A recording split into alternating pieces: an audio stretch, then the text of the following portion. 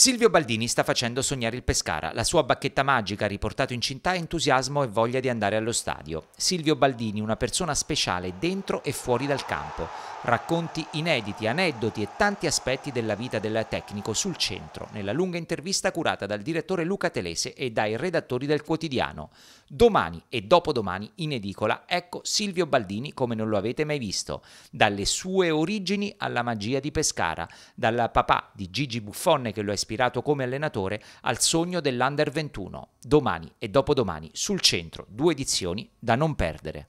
Quando andavo ai funghi con mia mamma, da bambino, ma andavo ai funghi a 5 anni, a 6 anni, andavo ai funghi a 20 anni o a 15.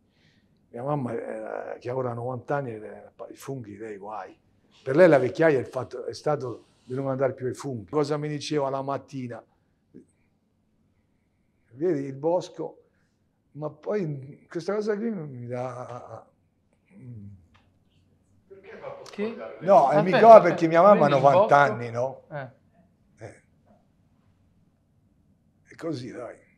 Essendo una donna cioè? anziana... Non può più fare? No, non può più andare, non può più fare...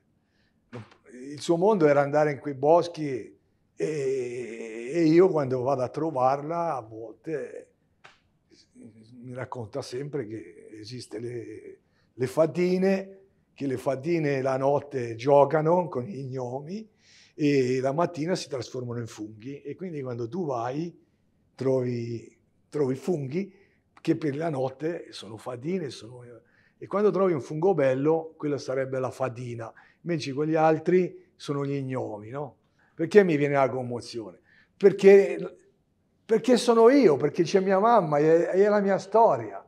E allora io sono una persona, non sono un personaggio. Ma ho sempre giocato nei dilettanti, ho sempre giocato... E poi perché devi fare allenatore? Eh, perché io anche lì ho il papà di Buffon, che è il mio allenatore, e mi dice, sai, se lui aveva 40 anni, se io fossi tornato indietro, invece di continuare a giocare, che poi non, non ho fatto una gran carriera, avrei iniziato a 25, 26, 27 anni avrei fatto l'allenatore. E io sento lui dice così, dico, io siccome non sono un fenomeno voglio... Perché il papà di Buffon, tra l'altro, ma l'ho già detto tante volte, c'era Gianluigi, giocava in casa, no? Io a volte eh, mi allenavo la sera con suo papà, ritornavamo alle sera 9 e mezza, 10. Tante volte mi diceva fermati a mangiare e mangiava a casa sua, no? Adriano Buffon, carissimo carissima persona. Uno dei miei sogni sarebbe stato quello di allenare l'Under 21, no? E io l'avevo chiesto anche a Mancini una volta che ci siamo trovati lì a Coverciano per il premio e l'ho sternato a lui e anche a altra gente lì di Coverciano. E la risposta non è che non si sceglie uno, si sceglie uno perché hai dei difetti, perché non è che mi... Credo che nel mio piccolo che sappia allenare credo che lo sa, no, non starei qui a parlare con voi.